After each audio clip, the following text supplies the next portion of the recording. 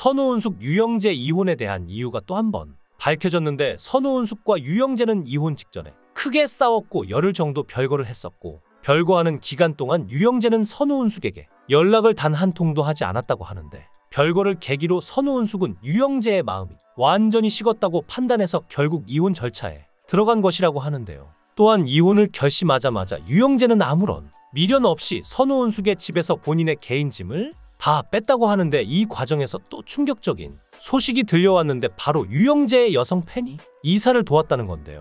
사실 유영재의 여성 팬 문제는 하루 이틀의 일이 아니었는데 이건 선우은숙과 유영재 결혼 과정에서도 나왔던 문제였는데 선우은숙이 청혼을 받은 뒤 고민에 고민을 거듭하던 때 유영재가 건강 카드를 꺼냈다고 하죠. 남자친구는 법적 보호자가 아니기 때문에 응급실에 실려갈 경우에 함께 병원에 들어갈 수 없지만 남편이 되면 내가 대신 들어갈 수 있지 않겠냐며 선우은숙을 설득했다고 하는데 결국 선우은숙은 이 건강 카드에 넘어갔고 결과적으로 둘은 결혼을 하게 된 건데요. 그 당시 선우은숙은 세상을 시끄럽게 하는 게 싫다는 이유로 혼인신고를 원하지 않았는데 유영재가 아플 때 곁에서 지켜주겠다는 말이 선우은숙에게 굉장히 큰 힘이 되었지만 지금 결과를 보면 어떻게 되었나요? 유영재는 청혼할 때 약속과 다르게 선우은숙이 아프거나 힘들 때 곁에 있지 않았고 이렇게 신뢰가 무너진 상황에서 결정적인 사건이 터졌는데 바로 유영재의 술자리 문제였습니다. 유영재는 선우 은숙과 결혼한 뒤에도 지인들과 팬들과 술자리를 자주 가졌는데 문제는 함께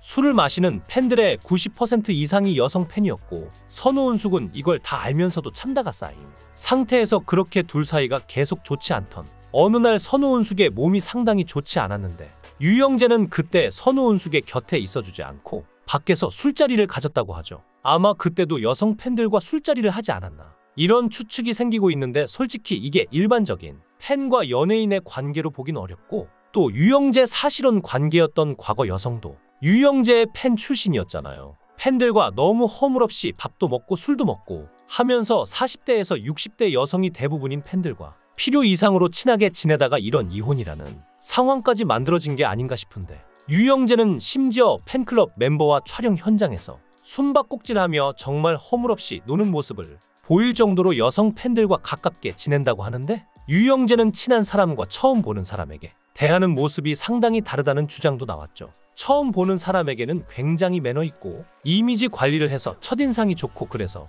여성들에게도 인기가 많다고 하는데 하지만 조금 친해지고 나면 첫 인상과 다르게 가부장적이고 보수적인 면도 보인다고 하는데요. 선우 은숙도 유영재의 첫 인상만 보고 다들 아시다시피 둘이 초고속으로 결혼을 했기 때문에 유영재의 본 모습을 발견하지 못하고 결혼했을 확률이 높은데 막상 결혼을 하고 나니 가부장적으로 변한 유영재가 선우 은숙에게 삼시 세끼를 차려달라고 하는 등 보수적으로 변했으니 이 부분도 얼마나 당황스러웠을까요? 또 선우은숙이 유영재와 결혼을 결심한 가장 큰 이유 중 하나는 둘이 같은 종교를 가진 크리스찬이라는 점이었는데 앞서 말씀드렸듯 유영재는 술과 사람을 상당히 좋아했기 때문에 뒤늦게 이걸 알게 된 선우은숙은 유영재가 과연 독실한 크리스찬이 맞는지 당혹스러웠을 텐데 실제로도 이런 유영재의 성향 때문에 선우은숙이 상당히 서운해했다고 하는데요. 유영재는 단순히 팬들과 술자리만 즐긴 것이 아니라 선우은숙에게 청혼할 때 써먹었던 건강 플러팅을 팬들에게도 써먹은 것으로 알려져 또 한 번의 충격을 주었는데 허리와 팔, 임플란트 치료 사진을 공개하면서 팬들에게 큰 금액의 후원금을 받았다고 하죠. 결국 선우은숙과 유영재는 결혼 1년 6개월 만에 이혼을 하게 되었고 선우은숙의 소속사 측은 이혼 사유로 성격 차이를 언급했지만 최근 선우은숙은 직접 방송에 나와 이혼에 대한 심경을 발표하기도 했는데요. 선우은숙은 지난 13일 방송된 속풀이쇼 동치미에 출연해서 유영재가 자신과 재혼이 아닌 3혼이었다고 밝히며 내가 법적으로 세 번째 부인으로 돼 있더라라는 말과 함께 나를 걱정해 주시는 많은 분들에 대한 예의로 내 입으로 말해야겠다고 생각했다고 했습니다. 또한 선우은숙은 유영재의 결혼 전 한 방송 작가와 오랫동안 사실혼 관계에 있었다는 의혹에 대해서도 입을 열었는데 기사를 보고 알았다. 그걸 알았다면 내가 8일 만에 결혼을 승낙하지 않았을 것이고 혼인신고도 하지 않았을 것이라고 고백을 했는데요. 더하여 선우 은숙은 어렵고 힘든 시간을 보내고 있다며 여러 가지 충격적인 일들로 여러 번 쓰러지기도 하고 병원에 실려 가기도 했다. 짧은 시간 동안 이런 결정을 할 수 있었던 것은 제게 남은 시간도 중요하다고 생각해서 빠른 선택을 한 것이라고 이혼 결정에 관해 설명했죠. 얼마나 스트레스 받고 고통을 받았으면 쓰러지고 실신까지 하게 된 건지 참 안타까운 마음이 드는데 안 그래도 유영재와 결혼은 선우은숙에게도 한 번의 이혼이라는 아픔을 딛고 다시 선택한 재혼이니만큼 되도록 그 가정을 지키고 싶었을 것이 당연한데 결국 이혼을 하게 된 상황까지 온 거라면 그 마음이 오죽하겠어요. 선우은숙의 첫 번째 결혼은 배우 이영하와 1981년 결혼해 연예계 소문난 인고 부부로 결혼 생활을 이어왔지만 2007년 26년 만에 협의 이혼하며 끝나게 되었는데 이후 선우은숙은 만난 지 8일 만에 유영재 프로포즈를 받고 2022년 10월 재혼을 하게 되었고 이 과정에 있어서 일부 대중들은 선우은숙의 재혼 결정을 아쉬워하기도 했는데요.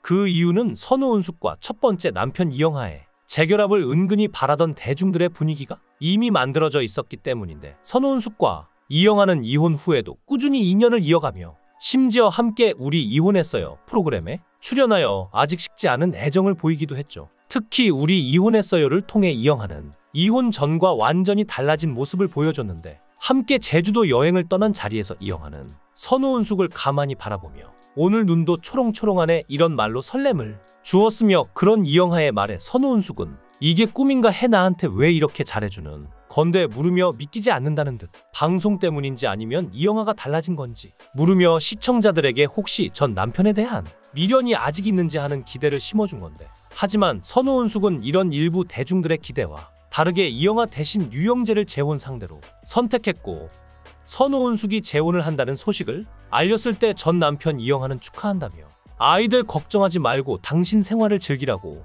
쿨한 응원을 보냈다고 하는데요. 이영하 입장에서도 선우은숙의 행복을 진심으로 바랬을 텐데 결과적으로 선우은숙의 재혼이 이혼으로 끝나버리고 말았으니 참 마음이 좋지 않을 것 같은데 재혼을 선택한 선우은숙과 다르게 이영하는 절대 재혼 생각이 없다고 밝히며 주위에서 여자들이 많다고 하지만 아무 때나 우리 집에 와봐라라고 깔끔한 여자 사생활 관계를 강조했다고 하는데 여러모로 사실혼과 삼혼 여성 팬 등의 이성적인 사생활 때문에 시끄러워진 유영재와 비교되어 더더욱 선우은숙의 잘못된 재혼 선택에 대한 씁쓸한 마음이 드는 것 같습니다. 어쨌든 말도 많고 탈도 많았던 재혼이 이혼으로 완전 정리가 되었으니 선우은숙도 더 이상 지나간 일 때문에 힘들어하지 않고 잘 극복해서 앞으로 방송을 통해 좋은 일, 행복한 일만 보여줬으면 하는 바람과 함께 더 이상 선우은숙의 인생이 남자 때문에 구설수에 오르지 않았으면 하는 개인적인 바람도 가져봅니다. 여러분의 생각은 어떠신가요? 여러분의 생각을 댓글로 달아주시면 감사하겠습니다. 귀한 시간 내서 영상을 시청해주셔서 대단히 감사합니다.